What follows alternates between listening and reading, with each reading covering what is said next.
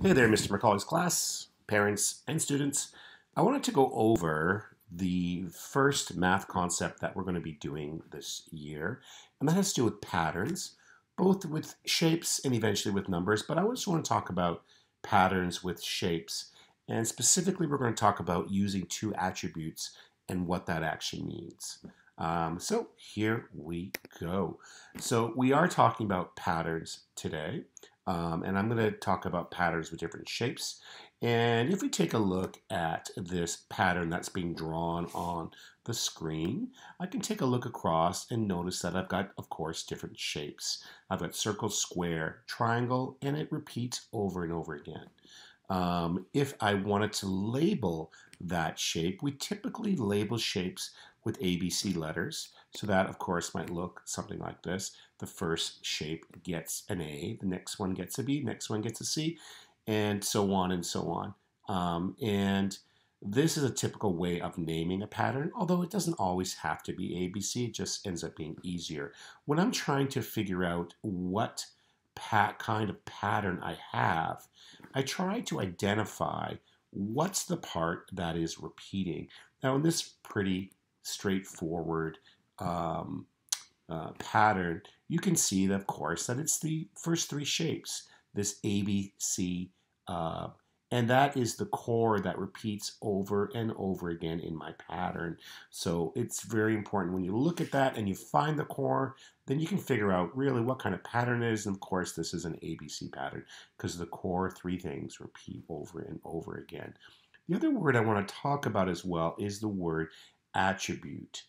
Um, in this pattern I have, when I take a look at the attributes, which are really the different features of the shapes, I can take a look and see that, well, they're all black colors. So it's not really um, color that's changing here. And every shape is about the same size.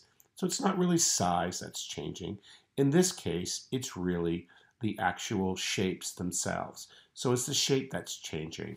And an attribute means really a feature uh, of one of the shape. That's kind of like the definition. So what is the thing that's pat that is changing? What attribute? Now this changing of one attribute is something we do in primary all the time, but in junior we might want to be thinking about maybe dealing with two attributes, two things changing at the same time. Let's take a look at this um, pattern being drawn on the screen. We've got some nice colors and we've got different shapes.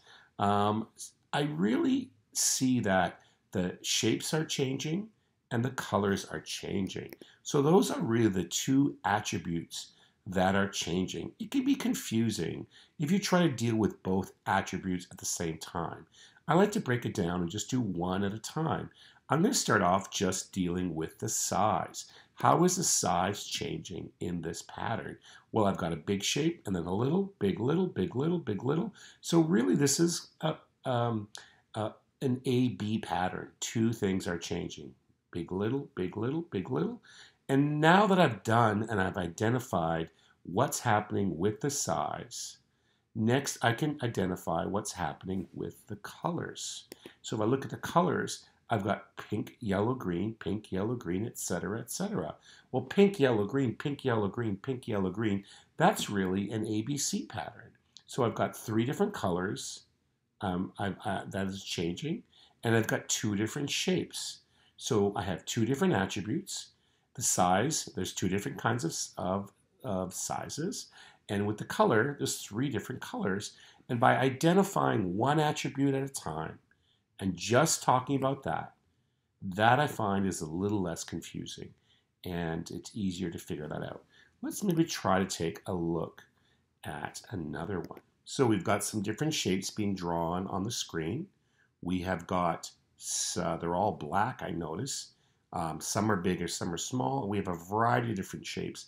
It kind of would be confusing maybe to figure out what shape would come next. But when I do some looking, I first noticed, of course, again, that there's a size change. We're getting um, different size shapes. Uh, I'm not looking at what kind of shapes, I'm only looking at the size. And when I look at the size, again, I have little big, little big, little big. And when I look at then the shapes, I'm finding very similar to before. I've got diamond, star, triangle, diamond, star, triangle, diamond, star, triangle. So again, at first these can be very confusing, but if you just look at what's happening with the size first, then you can figure out what's happening with the shape next. Um, another part of this is typically when you have to make your own pattern with attributes. Again, that can be kind of confusing. What I like to do is draw different shapes first and then maybe add color second. That is a really tried and true method for making a pattern with two attributes. So let's look at some shapes first. So let's say I do some fruit shapes or some veggie shapes. And I've got um, the shape is changing, but the color's not changing and the size isn't changing. So if I was labeling this, I might say apple, strawberry, pepper, apple, strawberry, pepper, apple, strawberry, pepper. So I've got really an ABC pattern going on here. And let's say the second step now, I've done one attribute. The second attribute, I'm going to add some color. So let's add some color. I would say a green apple and a pink strawberry, a nice deep red. Now I've got apple again. If I go and add a green apple and continue the pattern, I'll have like an ABC for the shape and an ABC for the color. It's not really doing it with two attributes. It's kind of really just doing different shapes all over again. So if I have ABC on top with the, th uh, the three different shapes, I really can't do three colors on the bottom. I could do two colors, or I could do four colors. Here's an example with four colors. Now I have a blue apple. And then I can repeat that with green, pink, red, and blue green, pink, red, and blue. And again, if I was labeling that green, pink, red, blue, green, pink, red, blue. So on the top now, in terms of shape, I have three different types, really an ABC kind of pattern. On the bottom, I'm talking about color, and I have four different colors. So that's how I'm doing it kind of differently. Um, yeah, so that's kind of um, how you would work. Uh, hopefully this will help you to understand how you can make patterns with two different attributes.